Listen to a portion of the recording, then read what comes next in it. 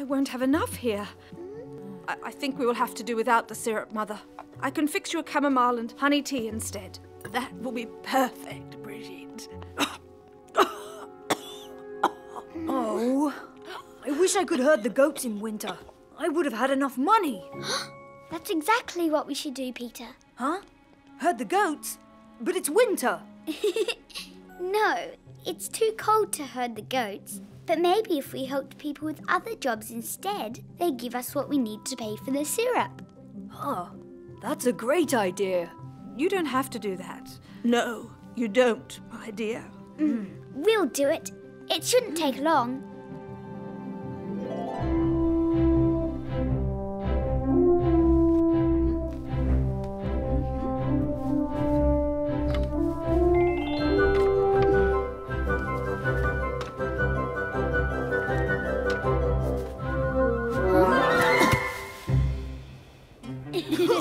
ハハハハ!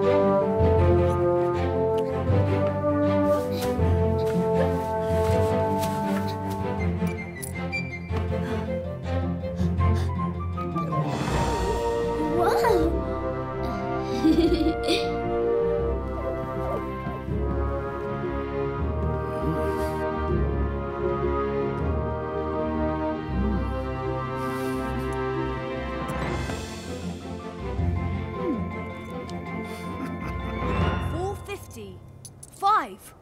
Huh, we even have a bit more. That's great.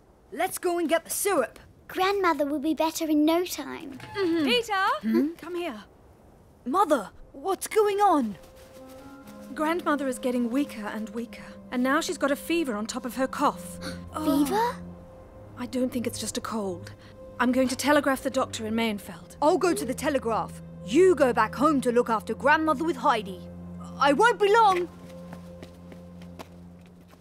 I'm sure she'll be all right. And I'll ask grandfather to come too. He might help.